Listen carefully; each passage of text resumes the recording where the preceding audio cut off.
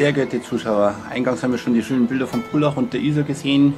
Jetzt möchte ich Ihnen das Grundstück zeigen, auf dem in Kürze mit dem Bau von zwei sehr großzügigen Einfamilienhäusern begonnen wird.